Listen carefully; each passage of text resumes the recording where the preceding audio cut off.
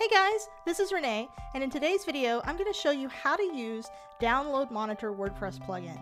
It, this is what I use to distribute PDFs for my content upgrades on my blog. This is a free plugin that is quick and easy to use. It's one of the reasons that I love it. It also has a nice security feature if you have like a membership site or something. They call it members only. So if you check the little members only checkbox, which I'll show you in the tutorial video, it um, only people who are logged into your blog as users can download things from that link. So that's a nice little thing if you have a membership site. You might have something a little more high tech if you have a membership site, but it's nice to know that it's there because all of those little plugins can start to add up, right? I am not guarding my content upgrades this closely, but you should be aware that if someone were to share the download link, people could get access. You have to weigh the pros and cons of that risk. Remember, this is a free tool. Considering that I use this tool to give away free and helpful tips, I will not be devastated if the share link gets passed around.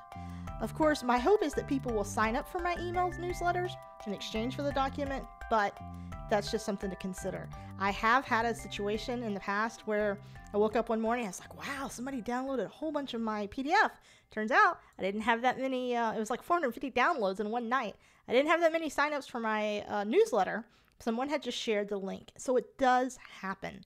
But was it a devastating loss? I still had my information on the PDF download. So if somebody got that download and wanted to know more about me, they could have followed up and maybe they did. Maybe I got more hits from my blog because of it. You never know. But that's okay. So that's the pros and the cons. Now, with that said, should we get down to it? Here's what you're going to need. You're going to need a self-hosted WordPress blog. That's very important. You're also going to need Download Monitor installed and a PDF document that you want to upload to your blog. All right, with that said, let's freaking get down to it. So log into your WordPress. Let me show you here. Just go right to the dashboard.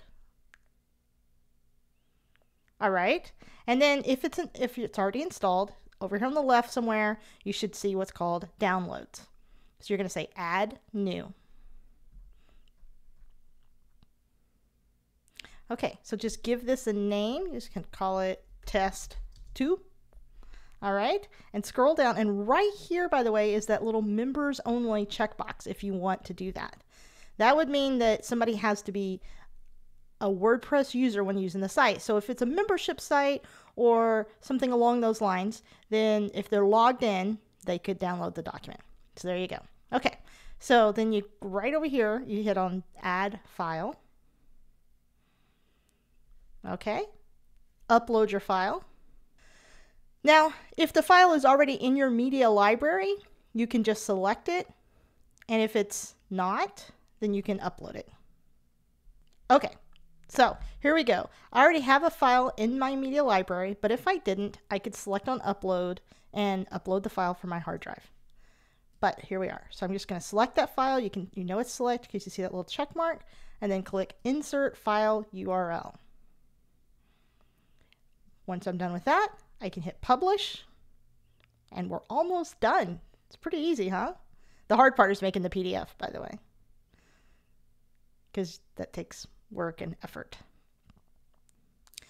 All right, once your once it's updated, you just scroll right up here and there is your URL. So normally what I do is just copy that URL and I will paste it like into my Evernote right here. And that way I have that link forever and ever. Amen. All right, so I hope that helps you guys. This is a great way to give away free PDF downloads without it costing you any money.